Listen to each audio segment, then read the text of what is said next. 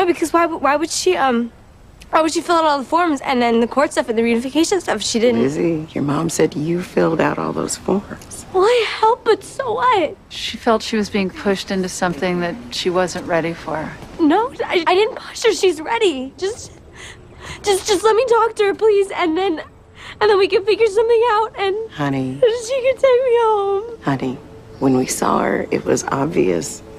She's using again. She's not coming, baby. Sweetie, we're so sorry. Lizzie,